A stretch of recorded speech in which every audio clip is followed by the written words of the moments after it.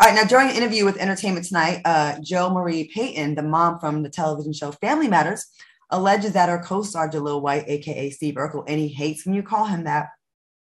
Do not see Jaleel White and call him Urkel. He will go the f off. He does not like it. Okay, just want to let y'all know that. Trust me on this. Uh, okay, so she said he tried to fight her while they were on set. Payton said there was a scene where I said we can't do that. Standards and practices will not let that that pass. It's not going to happen he wanted to do it anyway. He was so mad, he started kicking and screaming and stuff.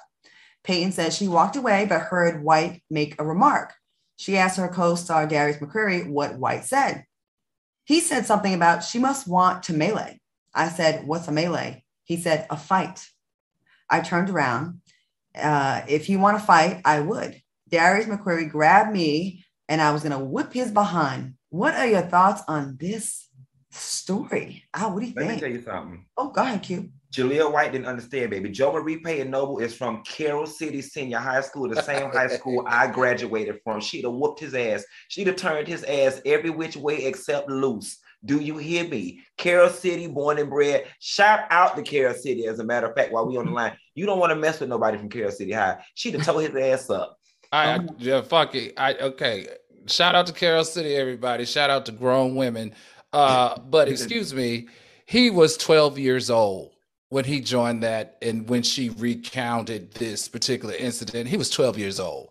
Now, uh, this is weird. Why is a grown woman getting ready to fight a 12 year old? Because I think the dynamics, what like we learned from the TV man. One show was that the dynamics there had shifted because he was supposed to just do a one appearance and he he was so um, endeared and everyone loved him so much that they rewrote the whole show to surround him and his character because he became a beloved character. But so he became the the main focus of the show and they wrote him in and it became a huge hit. So it was no longer about the other cast members but about him. But he was 12 years old. 12 year old kid. He's been a star since 3 years old. He was on the jeffersons. He was on cosby show 12 years old, they have tender tantrums when they don't get their way. They kick, they holler, and they scream. Why are you going to beat up a 12 year old? That just doesn't make sense to me. In my family, we fight kids.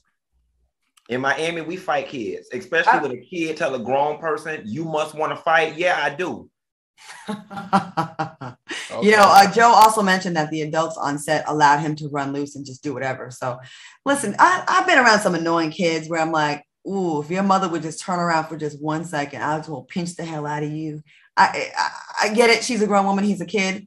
But there's some obnoxious 12 year olds. And nowadays, 12 year olds are killing people. So, And, Al- and listen, Mm. listen, Al full of shit. You from Horse Pasture, North Carolina. You know good and damn well ain't no It's child. Virginia. Horse Virginia, wherever, Horse Carriage, Virginia. You know damn It's well. horse pasture, Pasture, Virginia. Virginia. Horse pasture, Virginia. As country and backwoods as that sound, you know, ain't no child running up on no adult and no adult talking about, oh, you're a child. I'm gonna turn the other cheek. That adult gonna tear that child ass up. Nah, I, I don't. First of all, he didn't run up on her. But where I'm from, you you you didn't talk back to an adult because Yeah, by the time you got home, your mama, your mama got you, your daddy got you. So I, you know, I just find it very weird. I think that this story is very weird. A grown woman shouldn't be ready to fight a 12 year old child. and a 12 year old should not threaten to fight a grown woman. Shanika Fowler says, exactly, Q. We fight kids in the 305. Okay. oh my god! I believe it. we I fight believe people in wheelchairs. We fight homeless people. We fight old people. Anybody could get it.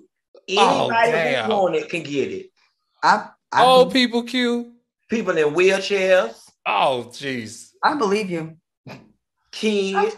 I think kids are just, they're the. Do y'all know how many times I've seen grown people get out of car and jump on some kids?